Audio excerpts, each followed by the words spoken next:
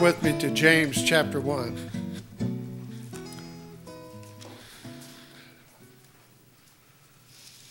James chapter 1. I was surprised when uh, God revealed to me what He wanted the theme of the Feast of Tabernacles 2014 was to be, uh, because it's not your typical feast theme that we normally have. We understand that when we come to the Feast of Tabernacles, we come to appear before the Lord to rejoice. Uh, it's a harvest time, and we're part of our harvest, but uh, as in times past, they brought their harvest with them and they had plenty. And it was a wonderful time of rejoicing and thanking God for the blessings that He had given them. And you know, everything we do at the Feast of Tabernacles is worshiping God because He tells us to come before Him and rejoice and by your heart's desire. You know, we can enjoy things that we don't normally, uh, you know, we can't normally afford to enjoy during the feast. Get to do things and meet new people, and that's wonderful.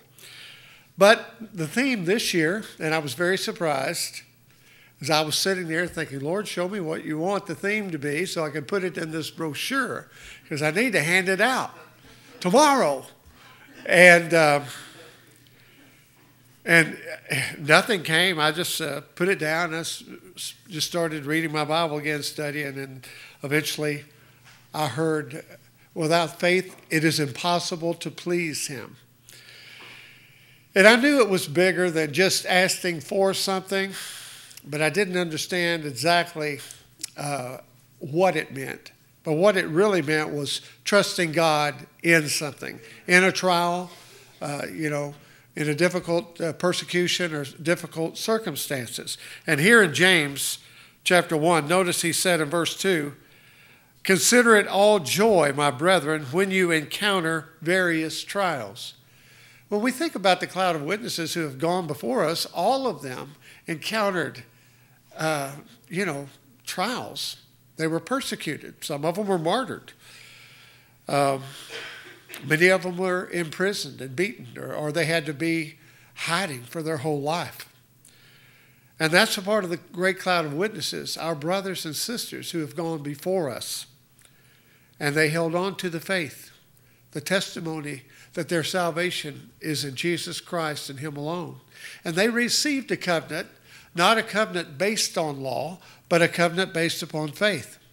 Not based upon their ability to obey the law, because all have sinned and come short of the glory of God, which is why God gave us the covenant of faith by which we trust in our salvation through Jesus Christ.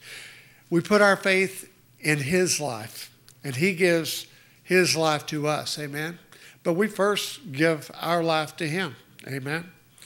So consider it all joy, my brethren, when you encounter various trials. The only way we can consider it all joy if we understand that God is really in control. And one thing that I'm beginning finally, after 40 years of this faith, to understand is that I'm in control of very little. Uh, very little. And I guess you probably noticed that the feast this year, this feast was different than any other feast that we've ever had. God was in control of this feast, and Satan was bound. And you know, we understand God's plan in the fall holy days with the beginning of, of the, the Feast of Trumpets, the return of Jesus Christ. And then 10 days later, the Day of Atonement, when the world becomes at one with God and, and Satan is put away. And then five days after that, the Feast of Tabernacles, picturing the millennial reign of Christ and his saints on the earth. So it occurred to me, you know, a few months ago that during the millennial reign of Christ, Satan is already bound. He is, he is unable to stir up uh, trouble and stir, stir up uh, the nations and to tempt people uh, to sin. So I thought, well, let's pray that God would bind him, that he would not be allowed to disrupt the peace, that he would give us peace. And generally, when you have a group of people all living in, in, in a, a campground, Um, you know, it's uh, you're going to have some problems. You're out of your comfort zone. You're away from home, and usually there's some problems every, every year. There's generally some problems, uh, but this year um, it seemed as though God just, you know, gave us peace, even with the people that were visiting that that didn't know us, and it was good to meet uh, some new people. You know, to meet uh, Austin and Crystal from Texas, the bunches from Missouri, and uh, the folks from down at Cabot. It was good to see them and some of the others that were there. And always to see Lee Davis again, amen. So consider it all joy, my brethren, when you encounter various trials. We can only consider it joy if we understand that God is in control and that God is not, uh, you know, bringing us to something to keep us there, but is going to bring us through something uh, for the testing of our faith. That tests our faith, brethren. Knowing that the testing of your faith produces endurance, and let endurance have its perfect result, so that you may be perfect and complete, lacking in nothing. Jesus gave a parable. You know, uh, I think it's in Luke chapter 18, uh, verses 1 through 7, I think, where he gave the parable about a, um, a woman that was coming to a judge and kept bothering the judge to, to rule in her favor. And eventually the judge got tired of her comings and said, okay, yeah, I'm just going to rule in her favor because she won't leave me alone. And Jesus was basically saying that's how we have to be when we are pursuing something from God. We're pursuing the spiritual gifts, we're pursuing, uh, pursuing a miracle or a healing. Uh, we have to persevere. And we see that in the Psalms where David had to persevere. We will need endurance. We find in the book of Revelation, when the Great Tribulation comes, this is the perseverance of the saints. They persevered, they have endured until the end. They have uh, been through the worst time of trouble that has ever occurred on this earth, the Great Tribulation. And they will have, and hopefully that's us. We will have endured. Because, brethren, your, your faith is going to be tested. You know, Laodicea uh, may be uh, fat and sassy right now. Maybe they think they need nothing, you see. Uh, but they're blind. And we find that they will go through the fire in Revelation chapter 3 you will go through the fire to test you, to refine you. And so we may be going through the fire now. We may go through, many of us have gone through the fire. We've been there with the three Jewish lads. But the Lord has always been with us, whether we saw him, felt him, or heard him.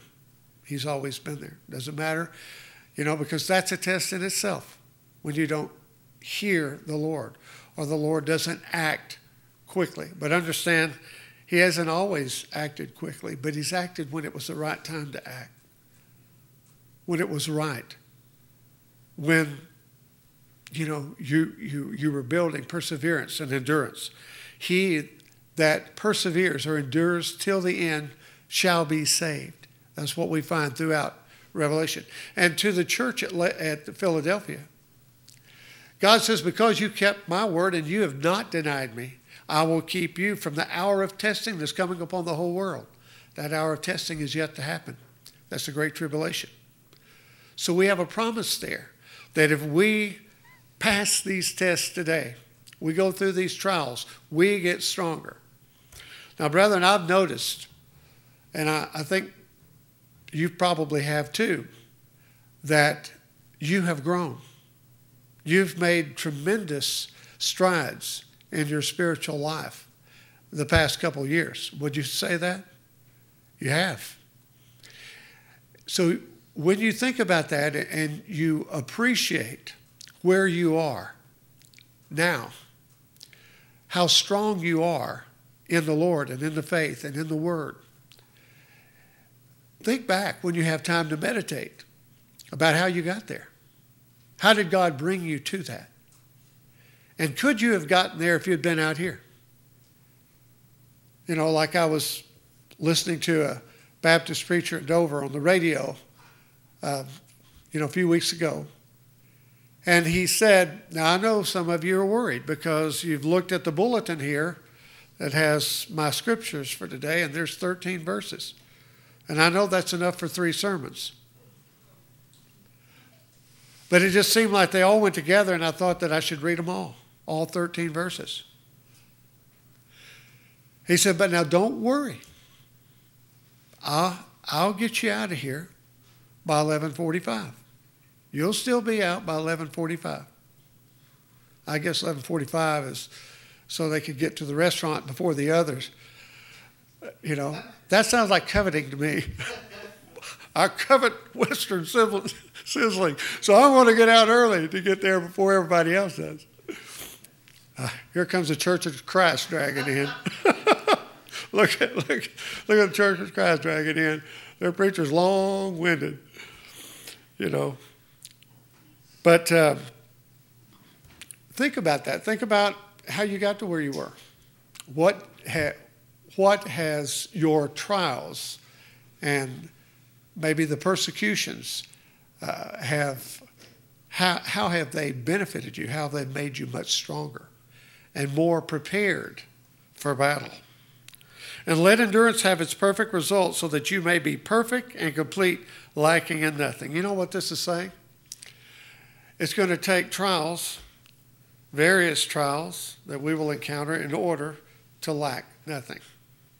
And then over in verse 12, it says, Blessed is a man who perseveres under trial, for once he has been approved, he will receive a crown of life, which the Lord has promised to those who love him. So I began to understand that it was more about um, God wants us not just to trust him for something, for a healing, for a miracle, but if he delays, if He brings us through a trial, if He allows us to be persecuted, He wants us to trust Him. Think about the things that are going on right now in the Middle East, where Christians are being beheaded for the faith, systematically just killed off because they will not convert to Islam. Now, God is receiving glory out of that just as he receives glory out of saving someone. But it is appointed for us to die once. And judgment begins with the household of God. You know, after Jesus gave that parable about the woman going before the judge, it's interesting because there seems to be a, at the end of that, he just asks the question in verse 8 Will the Son of Man find the faith on the earth when he comes? Will the Son of Man find faith? But if you look in your margin, it is the faith. That is the true faith when he comes. And uh, so we want him to find that true faith in us now. Amen. And we want that faith to grow and to be strong. The feast was really a blessing to me uh, this year. Um, normally, I feel a little bit of pressure, um, but this year I didn't because I I could see clearly that uh, only thing I had to do with it really is to pray and just do whatever God uh, directed us to do because I knew that God was in control and He wanted to. Uh, he wanted the feast to be a particular uh, way this year. And so before the feast, you know, we were praying that that God would help us and we would help each other consecrate ourselves to be prepared. And we were prepared for the feast this year, more so, I think, than any other time. And so God did show up in a mighty way. There were miracles, uh, but we had no real problems uh, this year from within. So I thank God for the Feast of Tabernacles. It's been a blessing to me for almost 40 years that uh, Triana and I have been keeping the feast and the rich meaning, you know, behind it. Amen.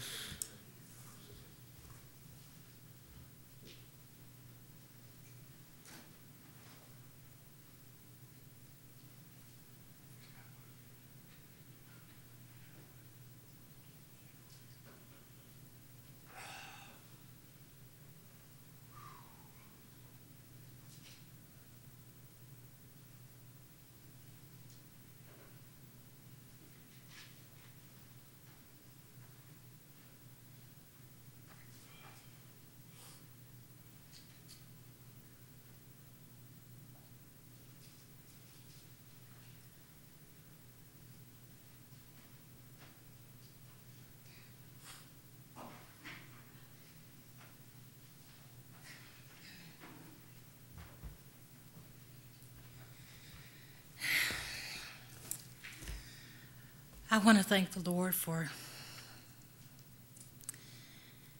all the blessings, rich blessings. Every time we're blessed at the feast, but this time was like no other.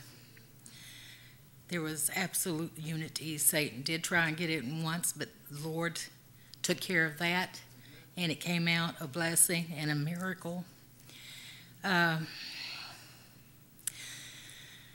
on the first holy day, the first song we sang was Joyful, Joyful, We Adore Thee. And it's like the Lord's been showing me a little more and a little more. That's why I brought this up. It was even deeper than what I realized. Why that particular song? All of them are blessed in that particular song. And as I was listening, I mean, the anointing has been on our singing before to praises to the Lord, but not like that. That was just completely different. And I thought, my goodness, instead of just our group, it's it just and it was awesome. It, the voices and the praise, it was so beautiful and heavenly, like from the heavenly of heavenlies. And the Lord helped me realize, and I started hearing other voices, and the Lord let me realize that was angels. And they weren't just singing in the heavenly of heavenlies, and we were singing in that building in the church. It's like God had us in the heavenly of heavenlies with Him. The, the angels and the saints of God, us, were singing praises to Him, pouring our heart and love out to Him. And the words of the song Joyful, joyful, we adore Thee, God of glory, Lord of love. Hearts unfold like flowers before Thee. Hail Thee as the sun above. Melt the sin of sin, melt the clouds of sin and sadness, drive the dark of doubt away, which was about faith, and giver of immortal gladness, fill us with the light of day. All thy works with joy surround thee, earth and heaven reflect thy rays, stars and angels sing around thee, center of unbroken praise. Field and forest, vale and mountain, blossoming meadow, flashing sea, chanting bird and flowing fountain, call us to rejoice in thee his saints, his angels, the creation, singing praises to him. Thou art giving and forgiving, ever blessing, ever blessed, wellspring of the joy of living, ocean depth of happy rest. Thou our Father, Christ our brother, all who live and love are thine. Teach us how to love each other, lift us to the joy divine.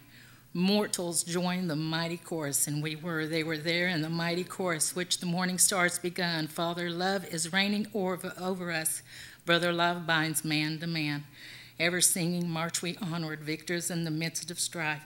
Joyful music lifts us sunward in the triumph song of life. And that says it all right there of how wonderful it was. That was so sweet. And. Uh, even Satan tried to come in and tell me that was your imagination. I don't think my imagination worked that good, you know. I just really didn't think it did. And then he had others blessing them listening to it and hearing it too. So, and uh, the night we were all together was such a blessing. His love flowing to each one of us, toward each one another. And I had such a feeling of, it's like the Lord just filled me with a great expectation of what He was going to do with all of us, through all of us in the future. And it was even that night with the miracle. And uh, the part, I'll give testimony about the part where Satan wanted to create trouble.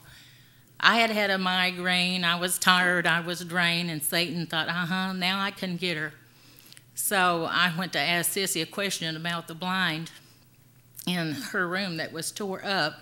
And that really was tore up. I mean, it was bad. It had a huge hole this big around. And I looked at that and I thought, wow, well, there goes the $30 deposit, you know. And I was asking her if it was like that before, if she had noticed that. And anyway, she was telling me it was Leah that did it. And the, where Satan wanted to is like, she's never been destructive at home. And it was that mm, that rose up in me, the flesh. And I would say, she's never done that at home. she's always been very well behaved. And then the Lord poked me, or the Holy Spirit did, letting me know, and I thought, nope, grab it, take it. You know what? I said, that's okay. That's the least I could do after all you've done for me and helping me with Leah. I said, that's fine. And I realized, you know, she was very nervous. She was upset. She didn't understand why she couldn't be with me and Granny and trying to get to us all the time. So, you know, and uh, I just released it to the Lord and just started thanking and praising Him. He'll take care of it, you know, He'll bless us. And He did. When I went into the room, He said, "No, well, go straighten the blind." Well, immediately that let me know He took care of it already. It wasn't busted or broken. I went straight it up. You couldn't tell there was anything wrong with it. It worked just fine. And that was him. And I thank him for that too, for keeping unity and love and peace during the whole time was such a blessing.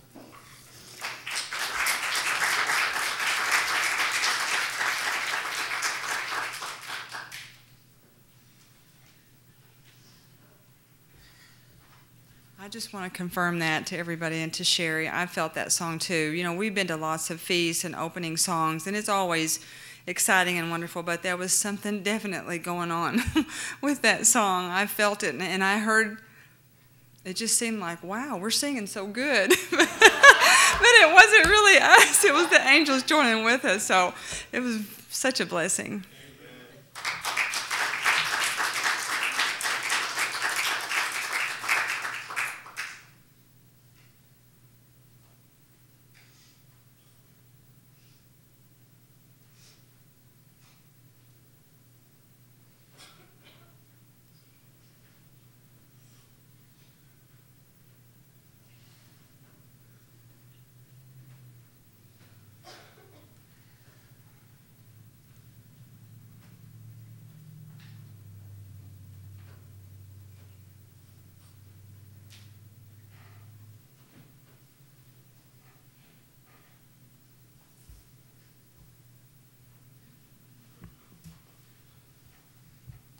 So um, I want to give God praise.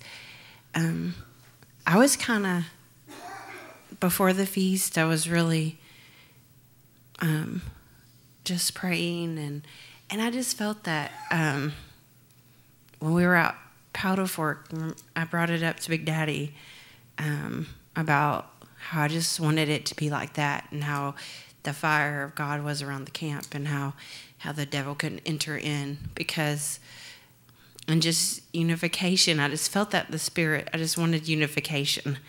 And um, I praise Him because it was that way. Though the devil did try to come in somewhat, um, God just intervened, and then He took that, took took it, and just turned it completely around. And and I praise God that what He did for our family.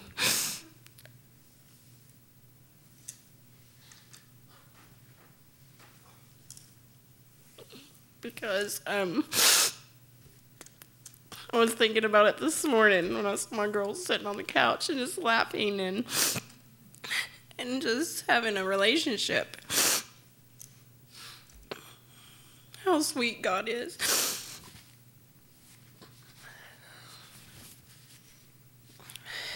And I'm just praising him this morning. So I wanted to give him praise for all that he's done and all that he's going to do and just praise him.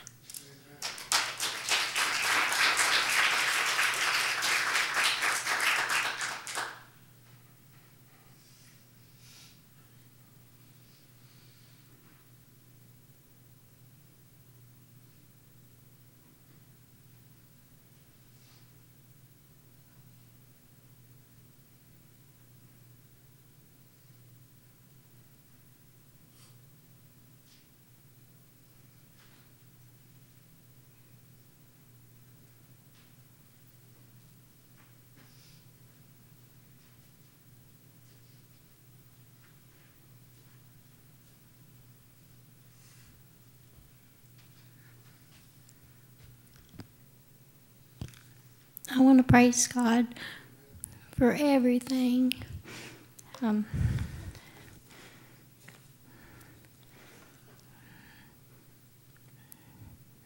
his healing, his deliverance.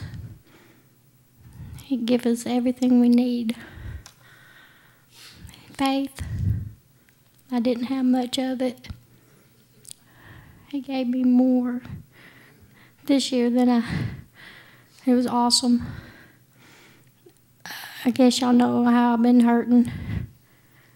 Um, my leg and my back. Y'all know the whole story, but it's pain free. Uh, um, I think it was the third day of the feast, or that Saturday night after services all day, I was hurting. My knee was hurting more than my back. Of course, Johnny done popped my back a couple times. He, and he pops it about three times a week. He hadn't popped it for a couple over two weeks now. But back to my knee, I was hurting. We got back to the cabin, and I think they were going to watch a football game. And then uh, I, I was staying in the cabin, and I told Donnie, I said, I'm going to stay in the cabin. I don't know, I'm hurting. So he went on up to the, watch the game and fellowship. And uh, I was starting to have a pity party. And then I thought, I can't do that. I'm not going to sit here. And I said, this is the fellowship, and this is what it's all about. So I grabbed my oatmeal and peanut butter. And I thought, I'm going to make some no bake cookies and fellowship in the kitchen. And anyway, I got to the kitchen and I was hurting, and uh, a sister that I just had recently met at the feast, she went to praying for my knee, and it was just heated up. It was awesome. It's like two heating pads all around it. It was hot. And of course, I had this thought that's just her hands. And I, and I said, no. And, and anyway, I'm walking. I, I, I, I made half a dozen trips to the cabin. I made two batches of cookies. And since then, I've been sweeping and mopping and laundry and Monday through Friday with my patient. But praise God. And then three days later, he God healed my back, and it hadn't had it had adjusted any. And so much. There's so much more. Um, it's just our God. He is so awesome and deep, and He's bringing us to that. He bring, He gives us and brings us where we need to be. Praise Him.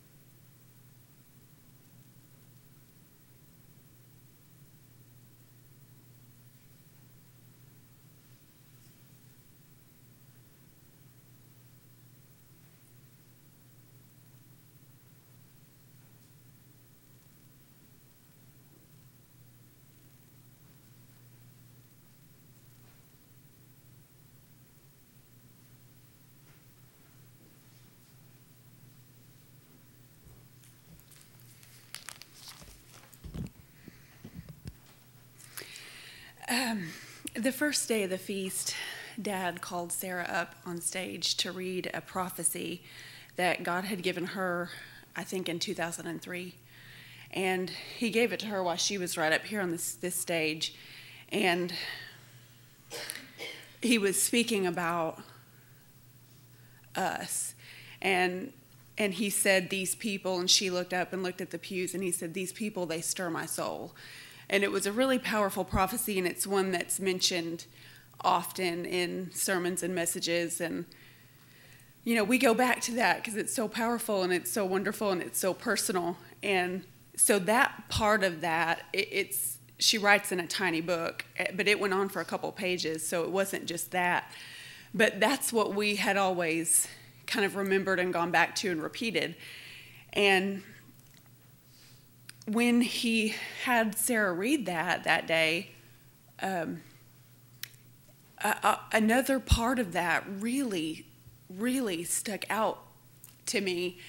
And I'll just read that, that part. I don't have the whole thing, but it was just uh, resonating in my spirit for days afterwards. Um, and I wrote a little bit uh, of, of what came before. Uh, he said, You will know me as I am, and you will be as you have been with me as at the beginning. My wrath was spent on my perfect Son, for he was slain, and my love is for you alone.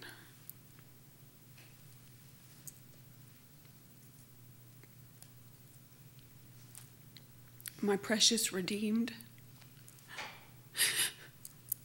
who wear his blood according to my will. And uh, when she read that,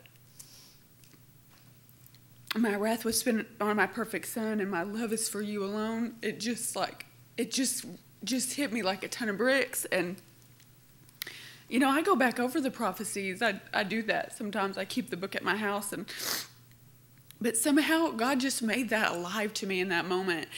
And so uh, for days afterwards, I just kept hearing it and I kept thinking of it. And, you know, Dad and I were talking in the cabin one night and that came to me and I said it to him. And, uh, and so days later, I guess it was towards the end of the feast, um, Brian sang a new song that I think he'd only sang one time here at the church previously. And it's called Draw Near. And uh, as soon as he started singing, the, the song changed for me. And there was some debate about what perspective the song was written in, but we, we confirmed that it was written from a man's perspective. But I didn't hear it that way this time. Um, the lyrics are Draw near to me, for I have drawn near to you. Pull on the strings of my heart, for I long to respond to you. All my love is for you, all my love is yours. I have made a place for you here. So come on, all things are possible.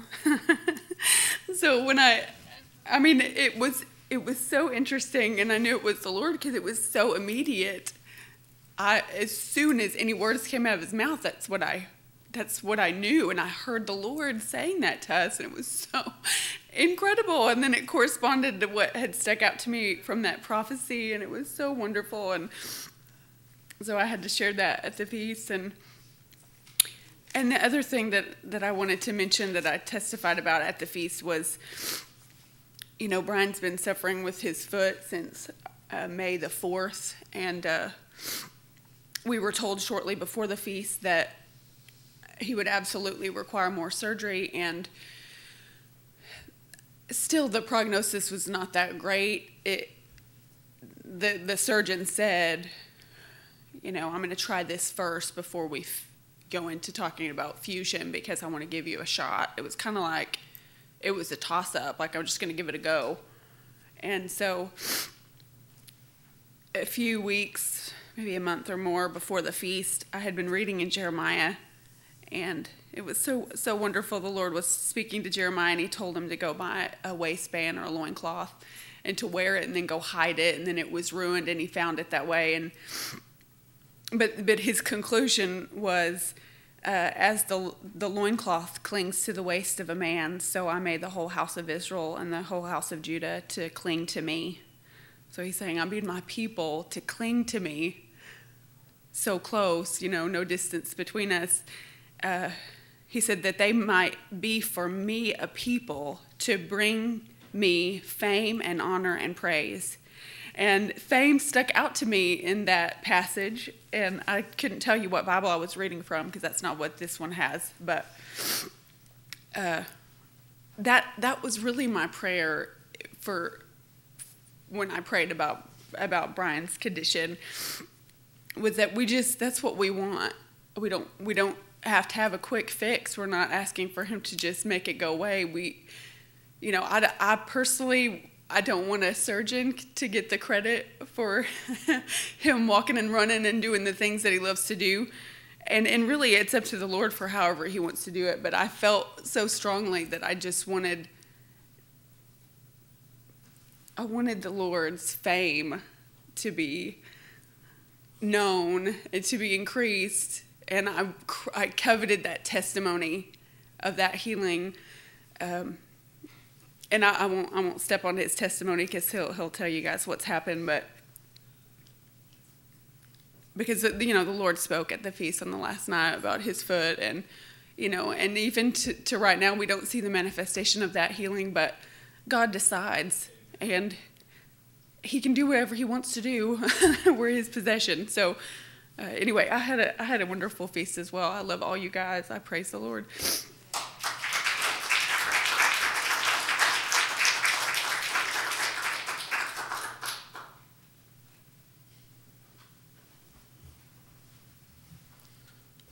Man, there was a lot this year at the feast. Uh, I'll begin with that song "Draw Near." I had sang it once here, and then we did it for the uh, the Signet. We did it as, as a band on the worship night, and uh, you know, I thought this is a wonderful song uh, that uh, the artist wrote. You know, desiring God to draw near, and all of this, and it was at the bridge of that song, uh, the time that that it was different for Jennifer that God changed my perspective. And it's it's weird. I don't know how to really explain what it's like when you're having to play an instrument and sing a song and worship at the same time. There's a lot going on, and it's kind of hard to, to, to do all that. Sometimes you get wrapped up in what you're doing, what you're saying, what you're singing, how you're singing. Uh, but that song was always really easy for me to just fall into worship, and uh, it was actually a, not not that easy of a song and uh, that's kind of what I was doing. I was not wasn't aware that I was playing, wasn't aware that I was singing, but I was hearing the words. And during the bridge, I, I just instantly, uh, and maybe even a little bit before that, the thought started. But God changed my perspective, and Jennifer was right when we went back and. Uh, I thought, well, maybe I just had that wrong. Maybe it's always been written from God's perspective. So we went to the publication of it, and uh, what's actually uh, published. You know, we looked at the capitalization within the sentences to see, you know, where is you capitalized, and it really was written from a man's perspective. But it's so much richer.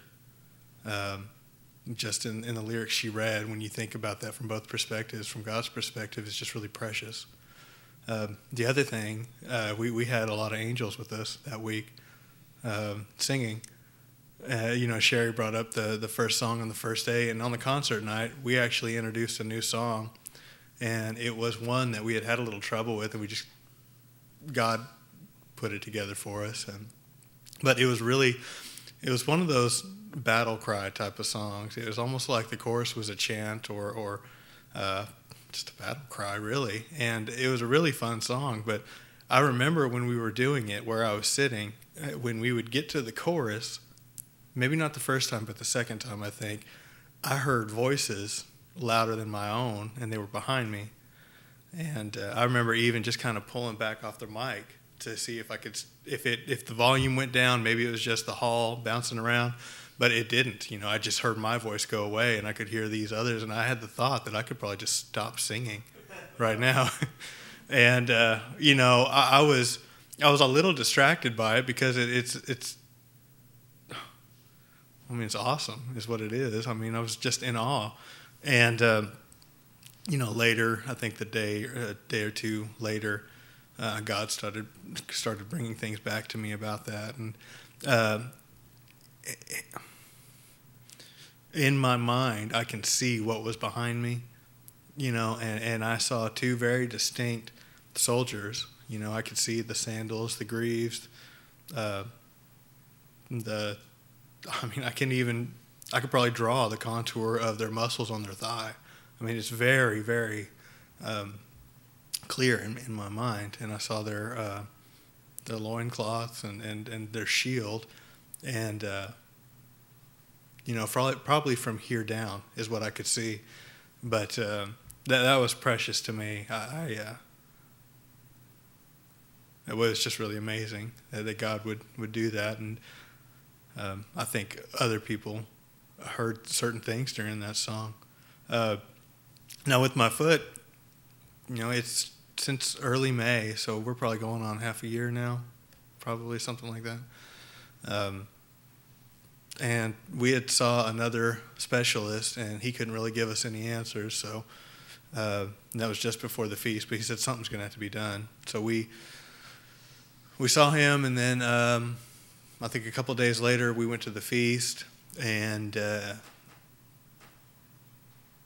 they had called just before we left, saying that they were going to schedule my uh, CT for the the Monday right after the feast. So right when we got back, Monday, we were going to be uh, getting a CT to to really be able to see what was going on. And uh, they said just the, the X-rays, you just can't really tell what's going on.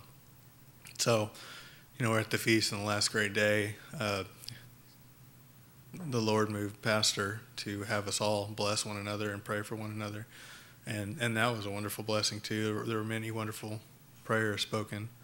Uh, and I know in a lot of, and I was paying attention to and I don't remember how many people, but I know a lot of people prayed about my foot, and uh, you know there were a couple of people actually came to pray for it, but uh, as we were after we had worshiped and we were you know it was kind of like an open mic, uh, I had testified toward the end. I felt led to testify about you know what I heard and saw during that one song, and immediately uh, John came up afterwards and uh, you know we, we, all prayed for my foot, and, and John led the prayer.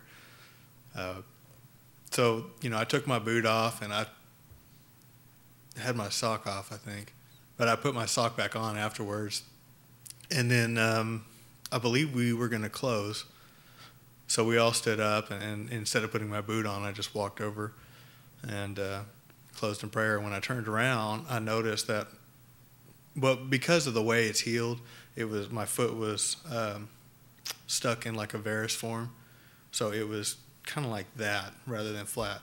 So I'm walking on the knife edge of my foot all the time, and uh, I turned around, I looked at Jennifer, and I just told her that my foot was flat on the ground. Uh, and the only way I had been able to do that is to turn my knee way in or kick my foot way out. And so, you know, I was that that's when the the dumb look started because I didn't really know how to react, and I just, you know, it was something had happened, you know, and then I was that night I was walking around, you know, and, and there was pain, but I remember when I first started putting weight on my foot, there was pain that I hadn't experienced anyways, because all that stuff is being used for the first time. So I just thought, well, I'll just press through that because it'll go go away in a few days, and uh, so we come home from the feast and uh, you know, God had uh, intervened and, and had healed me.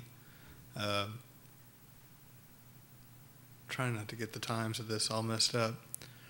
So we, we come back and we had a Sabbath service, and then Monday went to get my CAT scan and uh, see uh, the specialist. So had the CT done, picked up the disc uh, after lunch, and then went and talked to him, and they were loading it up. And when when he saw us, you know, and it was a long time before they came back in.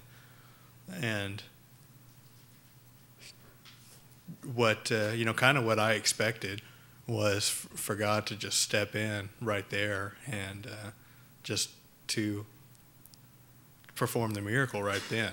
You know that the CT would reveal, uh, you know, his his glory, and uh, that's not what happened.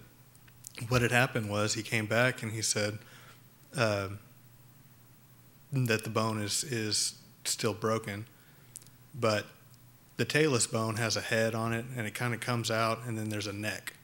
And then there's a little bit of a head on the neck where i had all my damage was in the head where my ankle is. And all of that is healed and all the work that the surgeon did here um, fixed that. And he said that looks pretty good. But apparently there was a part of that bone that nobody ever saw that was split in two and uh, it, it was the neck. The neck which has a, a smaller head, is supposed to be underneath. I forget the name of that bone, but it's actually on top of it and it's split. So he said, you know, that that's still broken, and what they wanted to do was uh, re-break something in there and try to get it to form and put everything back where it was, and probably more pins to uh, because they were they're centimeters apart the the split. So. Uh, you know, Jennifer and I, we didn't say much. We were just a little, I think, shocked at that time. And uh, they scheduled the surgery for the following Tuesday. So a, a, week later. And of course, I felt really rushed on that. Um, so we were driving home and, or, or we are home and, and we don't want to, yeah, I, you know, I'm, I was with her where I don't want to rob God of a testimony and uh, glory and, and let uh, a surgeon have it. Because if a surgeon were to go in there and fix it, then, you know, that, that's not. That's not as great of a testimony as I feel like it should be. Uh, and so uh, we were diligent about praying. I know people here were. Uh, and uh, I just never, I never heard anything. I, ne- I never heard um, because I didn't, I didn't want to have the surgery if I wasn't supposed to, and I didn't want to cancel it if he wanted to heal me on the operating table, you know, or, or whatever he wanted to do. So I, I we, we kept praying about it, and um, and we were both really uneasy about it. And, and because I didn't hear anything, um, I just put my trust in that uh, canceling it was the option. If I were to cancel it, um, you know, I trusted that God would let me know that that's not what He wanted to do because I was canceling it for a very unselfish reason. You know, it was very appealing to have a surgery and not have to uh, endure uh, anymore. So the surgery was Tuesday, this last Tuesday, and I canceled it Monday morning. And uh, they called back to confirm that and everything. And so, uh, kind of where we're at now is, you know, we're, we're excited to see what God's going to do. Uh, you know, to see how all of this is going to bring Him glory because I have I have the evidence of what it is. I've got the X-rays, I've got the CT scan. I study it at work sometimes, and uh, you know I I just trust him. You know, and if if if suffering longer can bring him glory, you know, then I'm pleased to, and, and that that's kind of what the conclusion was that I came to. You know, if you know, however he wants to do it, he can do it, and I'm fine with that. And how whenever he wants to do it, you know, we, we would all like it to be immediate when we're suffering, but uh, you, you never know what he's doing uh, outside of your own life, and, and we know that uh, suffering brings glory, and and and I think of the the martyrs that John brings up a lot and how that affected other people. So, you know, when we suffer and, and bear it up, you know, we, we speak volumes to people watching and, and looking on. So I praise him for his healing, and I look forward to seeing the manifestation of it.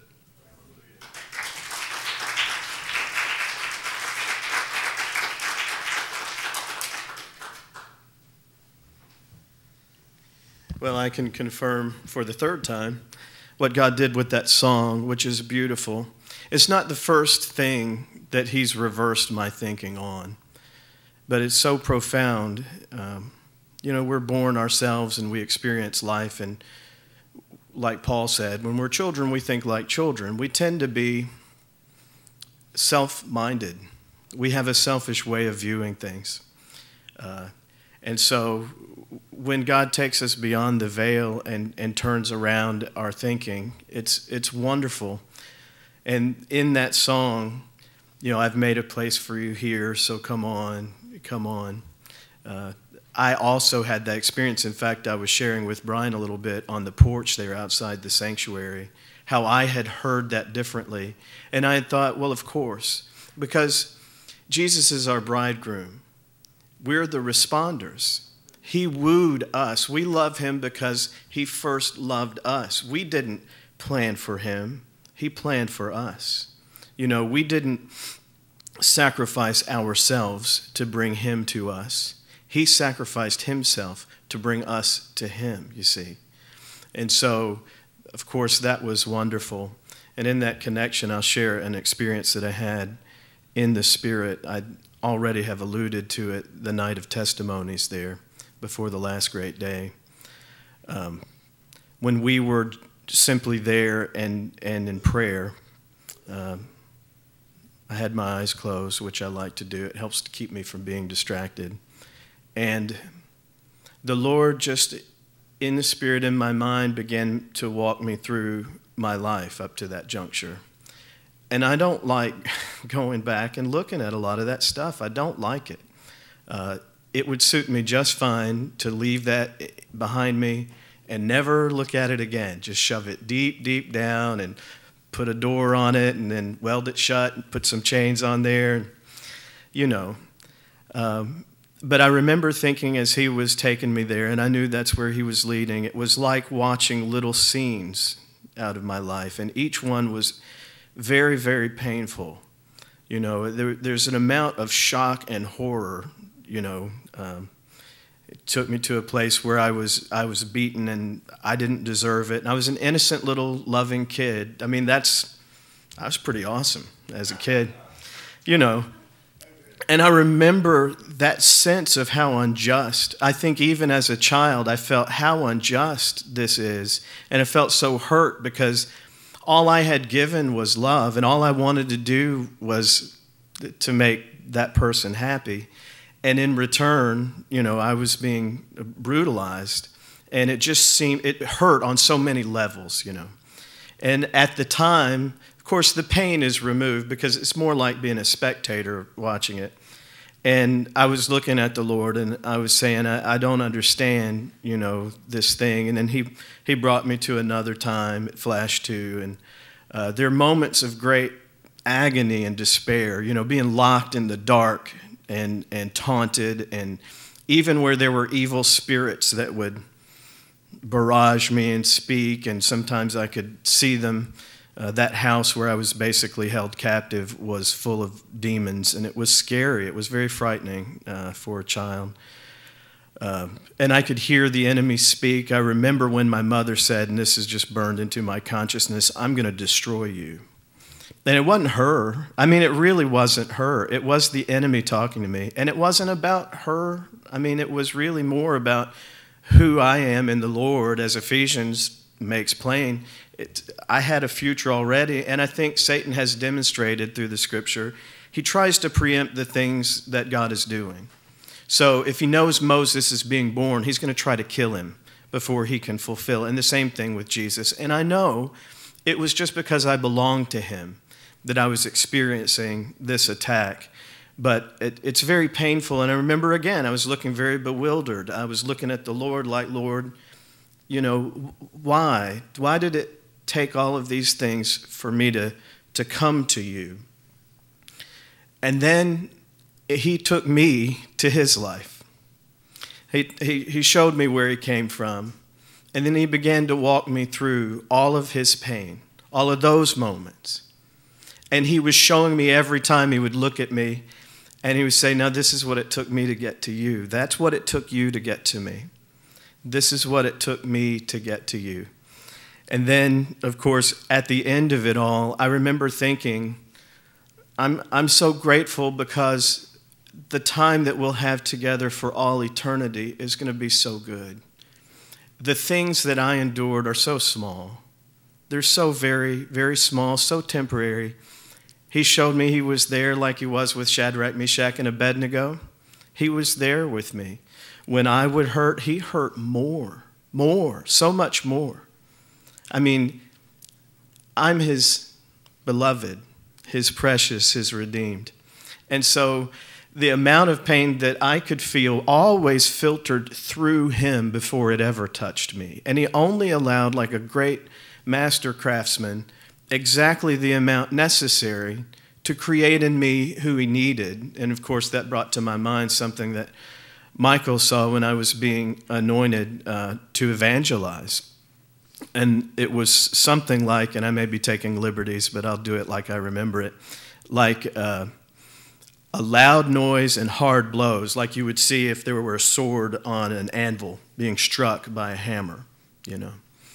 And um, there was a scripture that was brought to his mind about, Behold, isn't this a firebrand that I have plucked from the fire?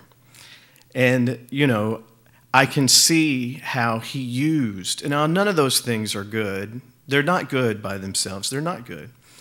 Uh, but they're extremely useful in shaping uh, an instrument that he can use to bring him glory, see? I mean, what he went through to give me something good is past calculating. And it's so good to me. I'm thankful every day. I just, I'm overwhelmed by how good it is. And so if he gives me a share, none of it's wasted. You follow? It gives me something I get to give back to him. And you know, like I like to say, the pain is temporary, but the joy and the glory that's permanent. So it's so good. But you know, I, I don't know how to say how thankful I am that he he cares enough to to bring me into the intimate places of his heart and to begin to reveal things and show me things um, and just to get to walk with him. And man you know it wasn't so long ago i didn't even know it was possible to hear his voice. And now i don't i cannot imagine living without him. I mean imagine if you had to do a feast and you just made it all up and did it your way. You know it wouldn't be nearly as good. So i praise the lord for those intimate times. Hallelujah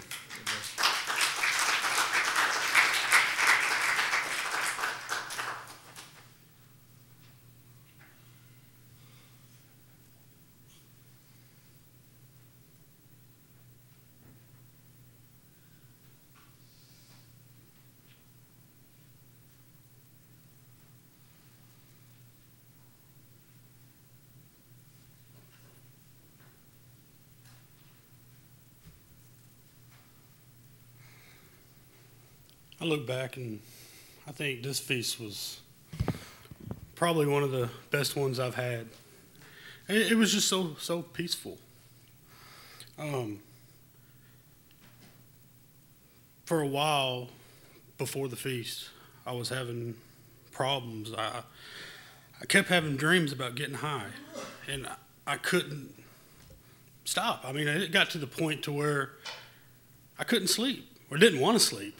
I mean, my body was physically tired, but I did not want to go to sleep. And I think it was it was I think it was the night after the fun show. Went to my cabin, laid down, and you know I had a dream about getting high, and I was like, Lord, why during the feast? and that, so that whole next day, you know, I was just really troubled. I was like, why? Why can't I stop having these dreams? And I remember, you know, when we went through praying for everybody that last the last night, um, Jennifer had prayed, you know, and she prayed, you know, remove the veil. And once she said that, it was like the power of the Lord just fell on me. I, I still don't understand, you know, the words remove the veil, what that had to do with it, but I have not had a dream about getting high since. And I just wanted to give him glory. Um, I w- I didn't know how to um, judge it, you know, on the last day. That's why I never got up and gave testimony. But then Big Daddy said today, you know, talk about feast testimony. It's like, well, I know I haven't had one since now. So I just wanted to give him glory for that. And also, another thing, sorry. um, when I started this job, the job I have, you know, I talked with the owner and everything about the holy days. Um, we had this job come into the shop right before the feast, and basically they wanted me to rebuild this diesel engine. And I told them, I was like, I'm fixing to be gone for a week and a half. I was like, Are you sure you want me to do this? He's like, Oh, yeah, yeah, yeah. So when we come back from the feast, um, went back to work for two days, and I had to go to Memphis for classes again. And after I come back from Memphis, you know, the shop foreman comes up to me and says, Hey, we need you to come in Saturday and work on this engine. I said, I've done explain to him many times. I don't work on Saturdays. I said, I'll come in Sunday. He was like, Well, nobody's going to be here. Not my problem. That's exactly what I'm tired of explaining it to him. Hey, you want me to come in extra time? Open the door on Sunday. I'll be here. But I just and never heard another word about it. So, and I also want to, you know, thank the Lord for being with Josh this week while I was gone. Probably the roughest two days, you know, not being with him and knowing he needed me. And praise the Lord.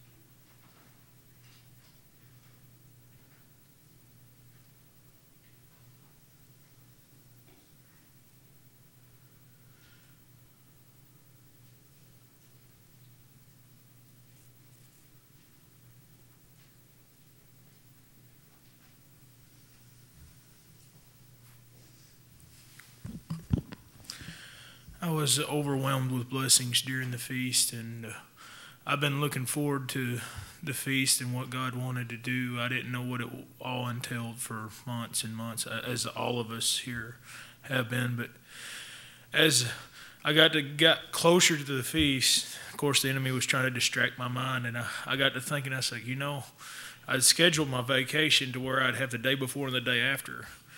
But all you here know, my feet have been giving me so much grief at work. After about one, two days, I can't hardly stand. I can't hardly move. And I was going along just counting down the days, kind of like Matthew does, just saying, oh, we're that much closer and I don't have to be here and I can be where God wants me to be with the body. And somehow, I don't even know how he did it, but the enemy slipped in there and started getting me where I was kind of dreading it because I realized – you know, I'm going to have to work Monday and Tuesday. And my feet are going to be probably nine kinds of grief. And then I got to load Wednesday. And I thought, this is not going to be fun at all. Because I thought all that stuff I'm going to pack, unpack, and all this.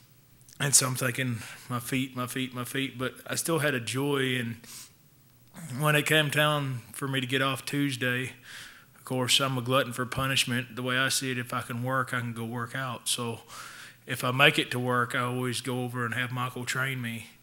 And so I did that Monday and Tuesday, and I was thinking, probably a mistake. but uh, Wednesday, I was able to, and in fact, I went over Wednesday morning to another glutton for punishment. We did a bench workout before the feast, before we all left, and it started pouring down rain. And then my mind's like, now you got to load in the rain. So you should have been loading already when it was dry. But, you know, the Lord just took the rain. Before I ever got home, the rain was gone. And it was nice and sunny. We got there. My feet were giving me a little bit of problem, but nothing like they were when I went to bed Tuesday night. And uh, in fact, Monday morning I was moving around pretty slow there at Michael's house. But somewhere between there and the house, it kind of eased up to where I could load and unload and help people. And uh, one or two times it flared up, but I was able to have peace and fellowship. I was able to do the things that I felt want, like I wanted to do and be there. But the spiritual blessing was way, way, it was awesome. And uh, I have to testify when I think it was Sabbath afternoon, the first Sabbath, that David gave the lecture on Dr. Sarno's book. You know, of course, I'm kind of, I guess I had my walls up even that morning and I didn't even realize it because when David's talking, I'm looking at all these little pointers. I'm like, ah. because I was saying, John Boy, John Boy, John Boy. And the enemy was trying to distract me because the Lord was wanting to do something. I could feel Him pulling on me. And I was feeling broken, not because of me necessarily doing anything wrong. I was putting walls between me and Him. And when I started realizing there was walls between me, it was breaking me because I didn't do it intentionally, but I was keeping Him at arm's distance, really. But the enemy, of course, is like, you know, well, that applies to this family member, that over there applies to this family member. He's trying to get my mind off of it. But the next step that David would mention, like anger, rage, one thing after another, as soon as he had mentioned another one, and my mind would go right back to, yep, that's you.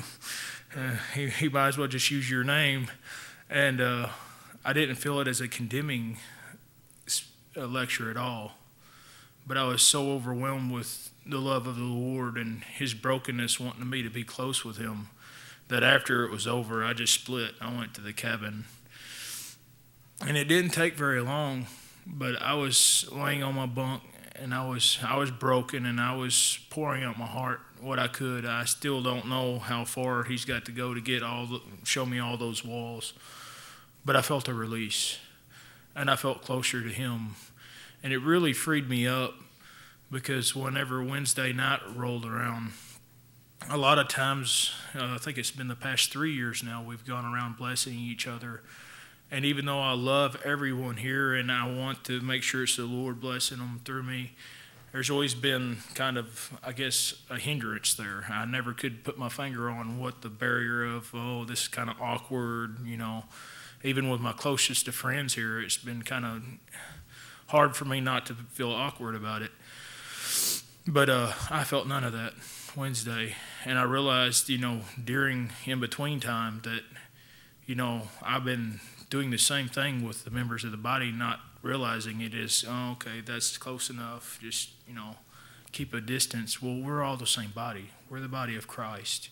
And if we're going to put each other at arm's distance for whatever the reason, then what is that showing us about our relationship with Him? Why are we keeping that barrier up of wall protection or whatever?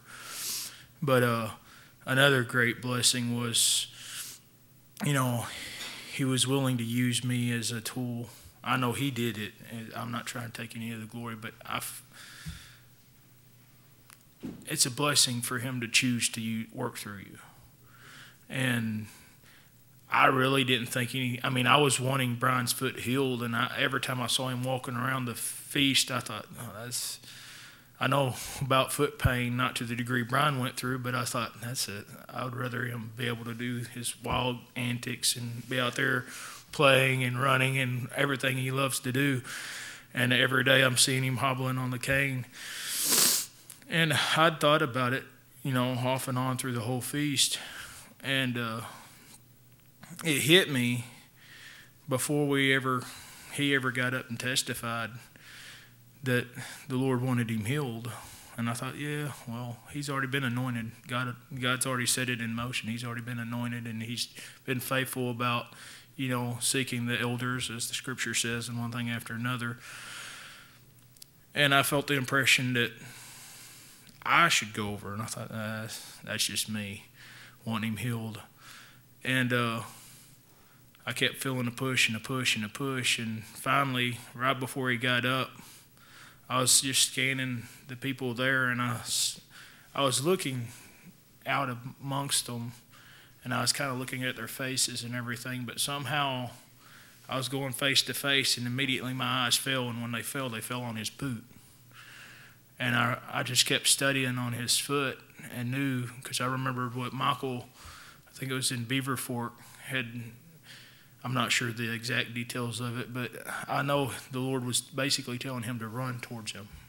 And he wanted him to be free to run. And I knew that was not the Lord's will for him to be hindered like that.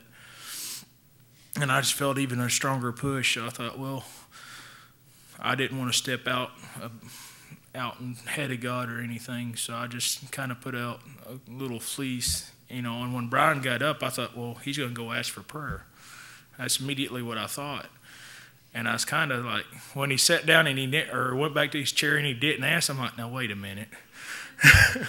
and I was like, okay, fine, I'll get up. And I know that we haven't seen the fulfillment of it yet, but uh, I know he touched him there at the feast because he was able to walk around flat with his foot on the without the cane. In fact, he forgot the cane. I actually saw the cane and put it in my truck, and I thought, well, he's healed, so but I'll get it back to him because it belongs to him. And then uh, I knew he had a doctor's appointment Monday and didn't really think much about it. So when I went over to uh, pastors to train with Michael, and then the next day I got, or that evening I got home, Mom had shared the results of what the doctor had said, and that I was like, immediately the enemy come in and say, "See, you opened your big mouth and prayed with with no hesitation, no deviation that he is healed, and now what's it look like? And I, you know, immediately just I kept feeling him pounding me, trying to bring in the doubt, trying to rob what I already witnessed with my own eyes. And uh, the next day was pretty rough at work. Uh, my feet were already bothering me, but my mind weren't even on my feet. The whole morning was he, him trying to take the healing away from Brian in my mind. He's trying to put the doubt there, trying to.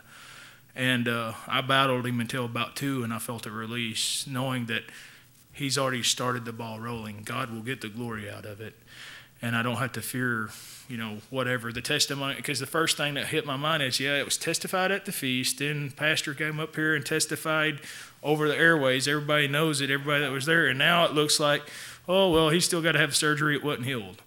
And so the enemy's going to work on everybody's mind, and I, he's trying to just get me in a bad place. But uh, I know he's healed. I know we haven't seen the fulfillment of it, but it reminded me of Chevi. You know, the tumor was on the back of her neck until they went to go map out the surgery, and then there was nothing there.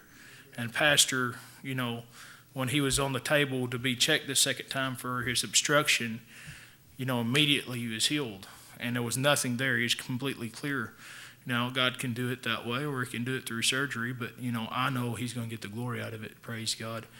But uh, I also want to testify of a little, another little aspect of the lecture setting me free, or me going to the Lord to release me from it, is uh, last, was it? No, it was uh, Thursday night I came in, and I already have issues with Tyson but whenever I go to use my money and there's no money there, that really, whether it be the bank or Tyson, that gets under my skin. And in past, I've gone acted like a fool.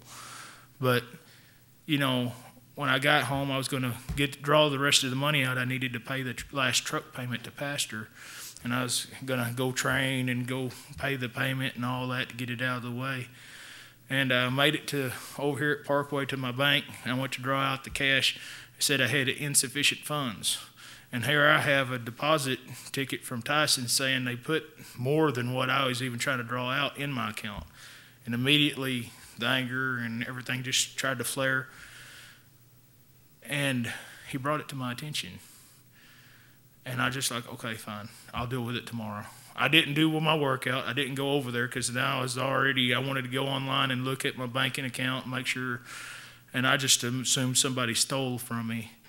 And the, whole night, the enemy's trying to mess with me. The next morning, when I wake up until the bank starts, uh, where I can call them, and uh, he just gave me a peace. So when I called them, what it is is apparently they have an hour's time at the end of the day where their system goes down to update everything. Well, I just happened to go in there and then get home and check it online while the system was down and it wasn't showing it.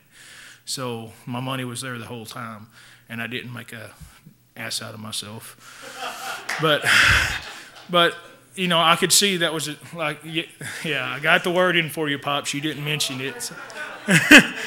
yeah, but, but yeah, but uh, you know, I could see that another step of my growth that the Lord was able to minister, and it, and it was a joy.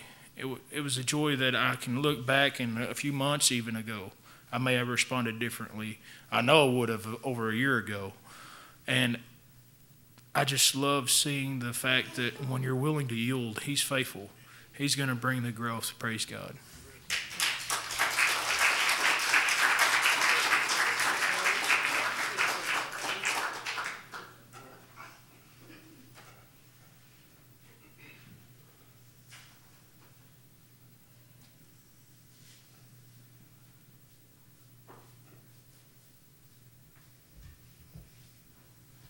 Think we were live streaming when um, I gave the testimony about the lights that I saw and the roof and the light breaking through before, so I won't give that testimony again, I guess. But um, I will, during the feast, I gave the testimony of what I saw while we were praying for Brian, while he was being anointed for his ankle.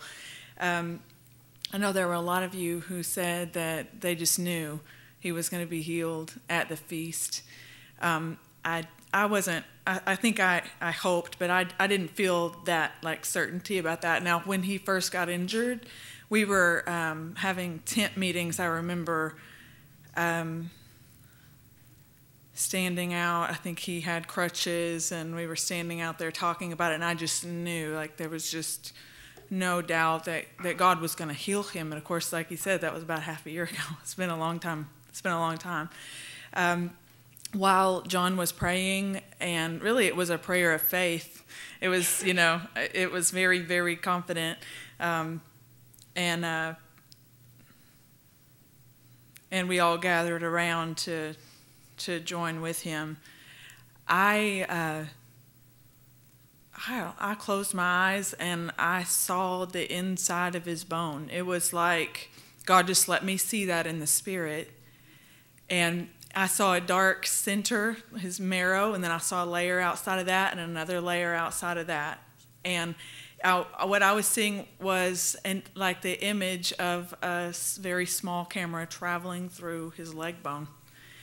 And so I'm just seeing, I'm, i saw all the layers, the three layers, but I was like, move, I, I could see, you know, as if it was moving through the center and down toward his ankle.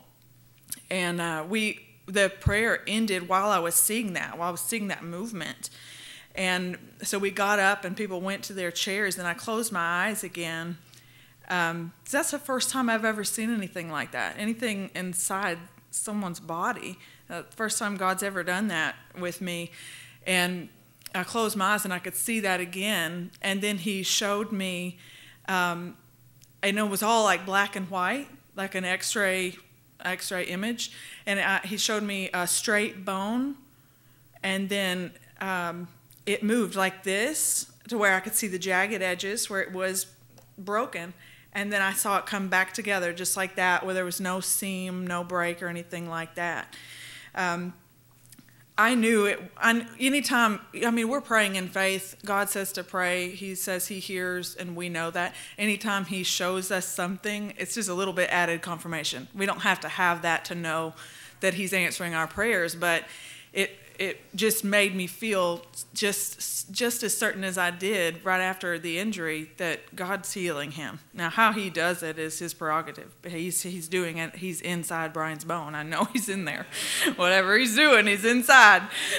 Uh, one time uh, we were praying for this man who'd been sick for years, and uh, in the spirit I saw like a blanket coming down on top of him and his wife who was sitting next to him, and I knew it was the Lord's healing that was just coming down to cover him.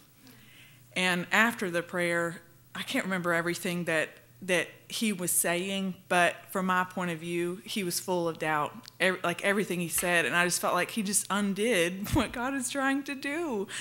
And I, no matter what he said, I, I just in my mind and in my spirit, I was like, no, I know that the healing was present. I know that God was bringing that down right on right on him for his access, and he had a real hard time receiving it. That's what this makes me remind of. Uh, makes me remember. I don't care what the doctors say. I mean, not just because God hears our prayers and because He is so faithful. I mean, Jesus took that broken bone, He already has it. So if Brian carries it for a little while, then that's a blessing. And when, when he posted on Facebook, uh, I canceled my surgery that was scheduled for tomorrow. Praise the Lord. I was like, Hallelujah, praise the Lord. Not that God couldn't heal at the hospital or through the, the surgeons, but He's just saying, Here, you can have it, and you just do with it what you want. And I, and I just think that pleases the Lord so much. Hallelujah.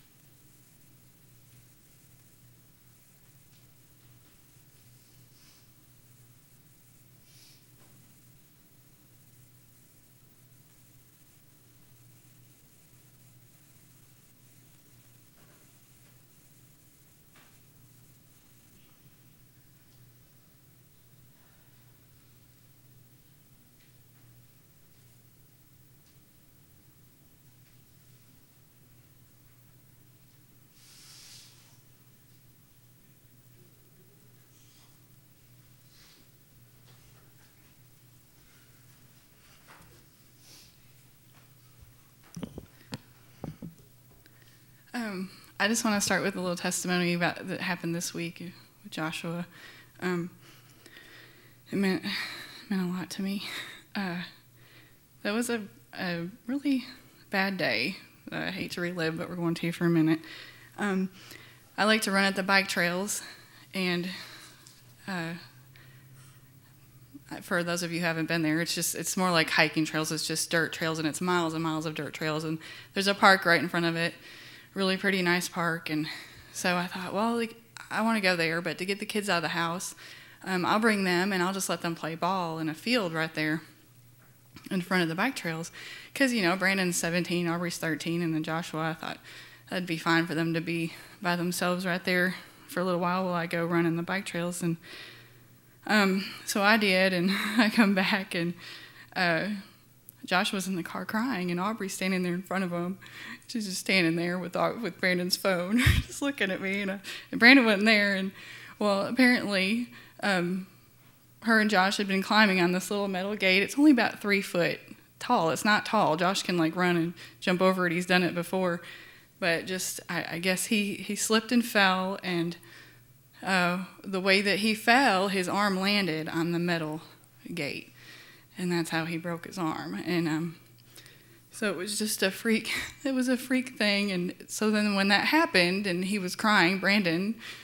Uh, oh, uh, to add to the story, uh, I always have my phone with me. I always have my phone, but it died on the way there, and I realized that when we got there. In hindsight, I obviously should have gone to charge it or something. But I thought, well, Brandon had his phone, so if anything happens, we can still make calls. And uh, well, anyway, when this happened, Brandon couldn't get a hold of me, so he went looking for me. And um, so I get back, and I've got Josh in the car crying, and Aubrey standing there with the phone, and Brandon's up in the bike trails somewhere. And uh, so I I didn't know what to do. I can't. I wanted I wanted to get Josh to the doctor. I looked at it, and it was you know it was a little bit swollen, and it it looked it looked broken to me.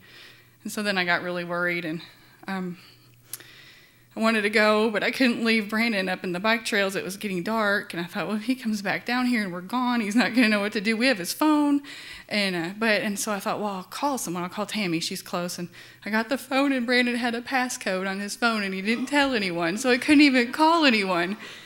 And I just was like, I just stopped for a minute, and I just, and it was this then I, th- I have, all I could do is pray. And I hate to say all I could do. It should have been the first thing I do. I know that's what God's always trying to, to teach us. And, and He just used that moment. And I just prayed. I just knelt down in front of Joshy and I prayed for his arm and that God would take that pain from him. And I prayed that Brandon would get back quickly. um, from wherever he was looking for me, and I just I just prayed, and I just know that um, that God answered that prayer. Um, it wasn't but a couple minutes. Brandon came back down, and and we got to leave, and and Josh. I, I know he was I know he was hurting, but if you could see him before and see him after I prayed, it was just a blessing. He just kind of got sleepy and he i mean if it moved it hurt him but he wasn't like crying the whole time he was pretty much almost asleep in fact by the time we got to the emergency room i think they thought i was crazy it was it wasn't swollen it was straight and he was asleep. And they're like you know i think they were a little bit surprised at the x-ray because he was like really sleepy and um, it was just a sweet little blessing this week to know that um, i wasn't alone. Um, but anyway, back to feast testimonies. Uh, Aubrey has one, but she had to go to her dad's today, and um, so I'm going to give give her testimony for her. It was really sweet and precious when she told me about it that night. Um, and it was a little weird. I, I had remembered there. She talked just a minute ago about the the vision she had had, and uh, I had remembered it the same day. I didn't see anything or, or anything like that, but I remember being in testimony service and thinking about that vision. Um, so it was really sweet that night when Aubrey told me what she had seen. I'll just read your read her text. I, I didn't want to leave anything out. She I, I didn't know if I'd remember it. Also, I had her text me what it was. Um, she said, "So we were having testimonies, and the sun was really bright." She said she was just looking out the window at the sun and it was really bright. I just stared at it for a few minutes and I looked away and I heard, Don't take your eyes off me. And so I looked back and he revealed to me that I was one of the people in Sarah's vision. And then I looked back to the person giving the testimony and I heard, Don't take your eyes off of me.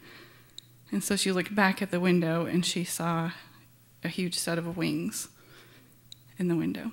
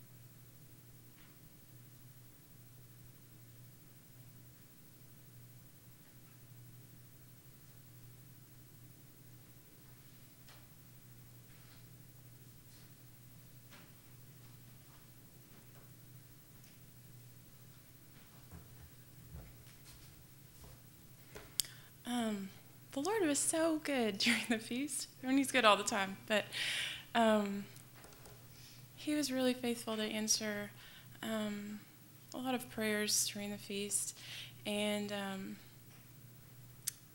and just kind of show Himself.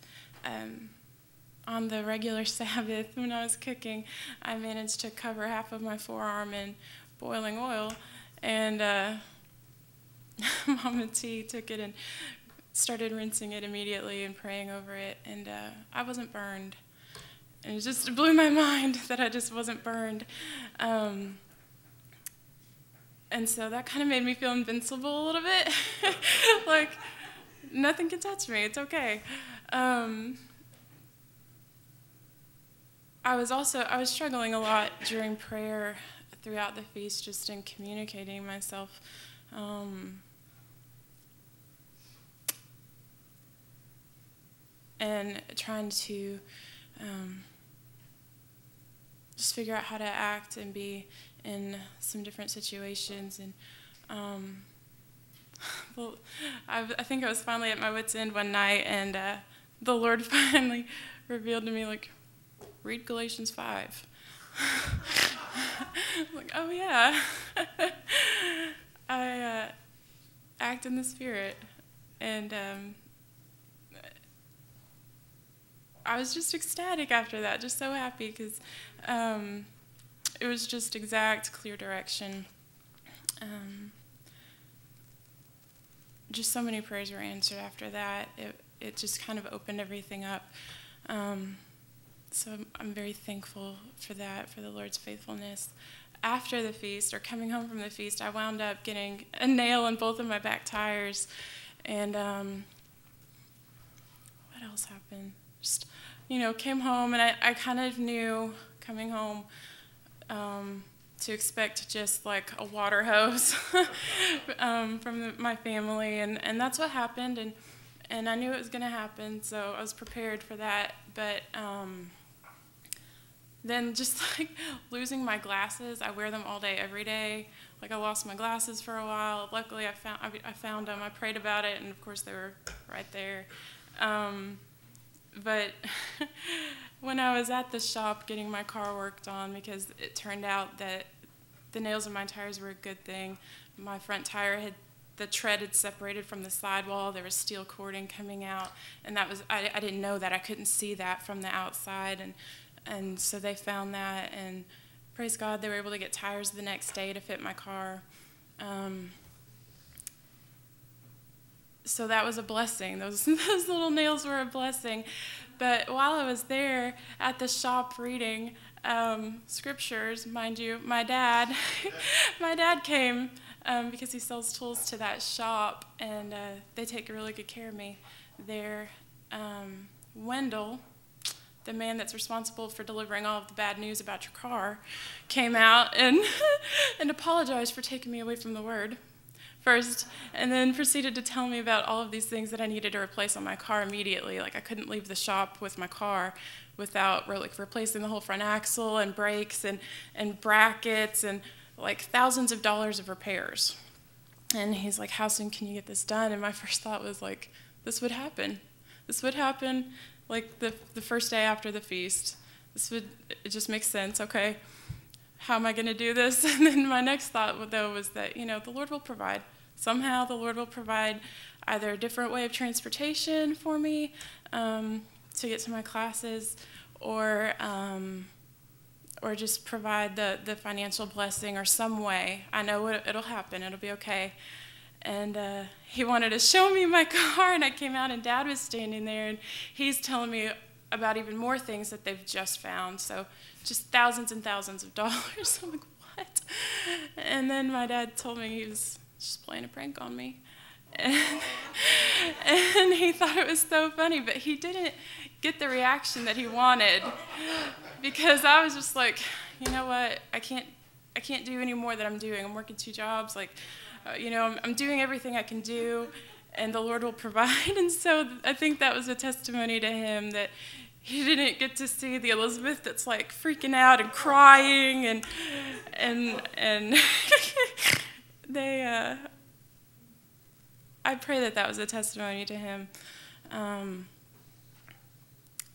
because I want this for them. I, life is empty without without Christ first, but also the brethren. Um, and they don't have that, and it just breaks my heart because I just can't having been here now, I just cannot imagine going back. Um, so I, I, want this for them, and they took some steps backwards while I was away, um, and I wasn't expecting that, but um, the Lord worked, and just increased my faith so much. There was just so many things that I'd never seen before, like like my arm and like his foot and and um, you know I, I, do feel invincible now because what can touch me that that Christ can't overcome. Um, and so I'm just I'm thankful for the Lord's faithfulness and and for all that He's done for us.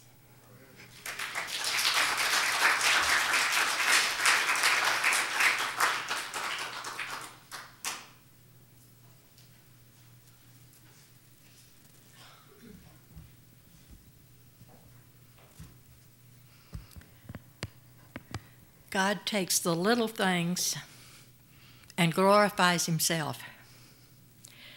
Just sitting and listening to all these powerful testimonies and what He has done at the feast and what He has done since we've come home from the feast.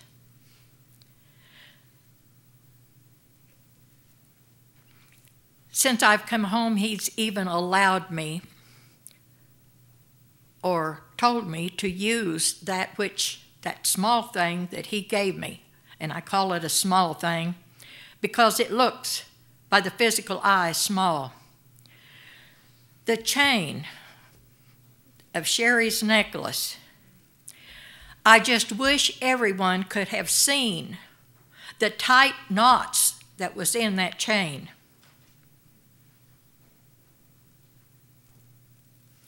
So, what good does God expect of us? I just, she had prayed over it. Lord, help me get these knots out. And she became anxious and exasperated, like we do when we want something and it doesn't come about. It just gets worse and worse and worse. The more we work with it, the worse it gets. I saw her getting desperate, and I said, Baby, go take your shower and let me work with it. Well, you can't get it either. and I didn't. but anyway, when she went in, I was drinking my coffee. I just picked it up by the clasp, and the chain was about that long. Picked it up by the clasp, and it unraveled. Before my eyes, every knot fell out. Hallelujah. How can that be? And what is our part in the Lord? Believe He's who He says He is, and He can do what He says He can do, and that's our part.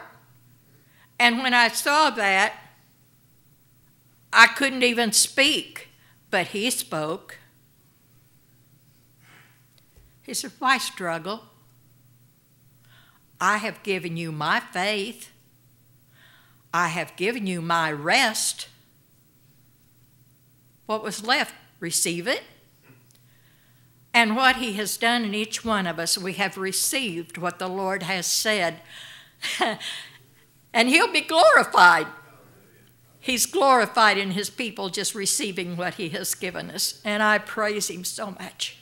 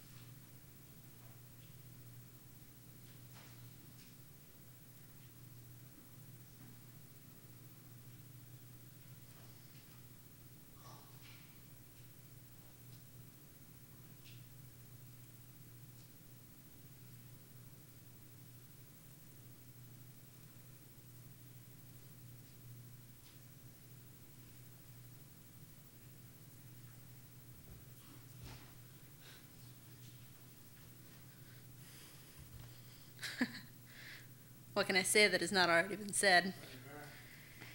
God is God is so great in the way that He works, small things and the big things, and He just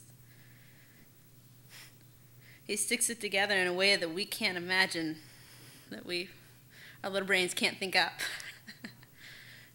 we, you know, I want I want to praise God for the little ways that He works. He, um, you know, that that song that was the last great day, right? Yes. Okay, I don't do time, but uh, that song that He gave me, it was just to me, it's a miracle that it was here at all. Because you know, it started out if God gives me songs, He normally gives them the night before, the week before, the month before. I want you to sing this, practice, learn it, figure it out. That one, He was like, "Hey, do you hear this one chord?" I'm like, "What? What's what's that? What are the words? What is what is this?" Keep keep going. He, Maybe I don't want to keep going. Maybe I want you to stand there and look stupid for a little while because I'm going to give you what you need. and I was I was terrified.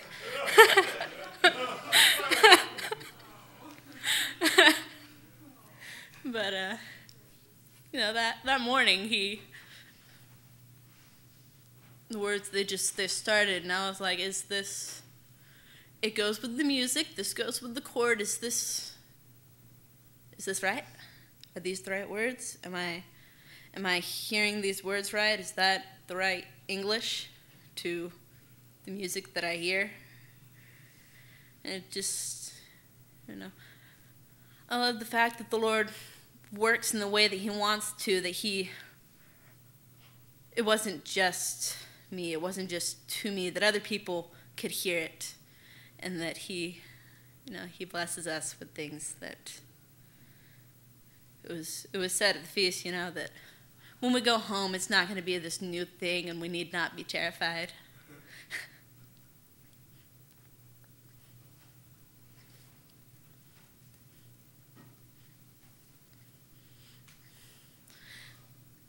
and that makes me so happy.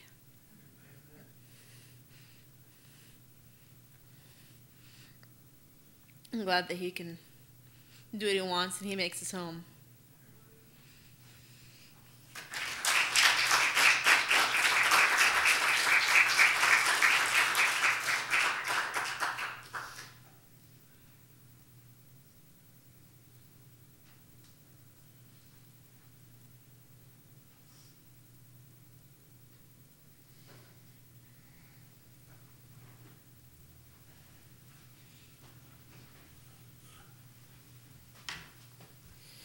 Well, praise God for all these wonderful testimonies. Um, I asked a question at the feast. I thought, I believe it was, uh, "What would you do if you weren't scared?" And my answer to that is, you might get up at the feast and talk in front of everybody. but I want to thank God for that opportunity. And uh, for him showing me once again that if I just get out of the way and let him do things, it'll work out for the best. That's not my normal, it hasn't been my normal mode of operation in my life heretofore. I've always been the one that's like, well, I got my sights set, and if God's up there somewhere in front of me, He needs to get out of my way because I'm going to get her done. And uh, I wound up in a lot of train wrecks. But it always works better if you just let him work. And he's proven it to me once again, not that he had to prove anything to me. Um, this isn't really a feast testimony, it's just something that's been going on for a period of time, you know, several months. Um, I posted on the church website several months ago that you know I thought God had opened some doors for me, and I was gonna reverse the decision that I made to bring my one of my trucks back here, and I was just working too much and was gonna put it back up where it had come from, and you know that door seemed to be open, and then I was gonna step through it, and it just seemed to shut, you know, right before I got there, and normally when that happens, I, you know, I had, I get frustrated and disgusted and just really, you know, like, why can't I understand this? What are you doing? And, you know, he's, he's taught me not to do that either. So I didn't. I just kind of sat back and I guess just asked him to move when he's ready. And I'm just going to keep doing what I'm doing for the time being. And, uh, that settled me a lot. You know, I didn't, I wasn't so unsatisfied and unhappy with what I was doing. And from that point on, I'd still rather have more time for you know myself and for helping other people here. But he's still working, and I think we're still going in that direction. I just have to let him do it in his timing. And, uh, and I just praise him for all the trials that that I've had, and you know, without them, I wouldn't. Uh, it's like Pastor said earlier. You know, I I wouldn't have learned these lessons, and I wouldn't be where I am today. So praise Him for everything.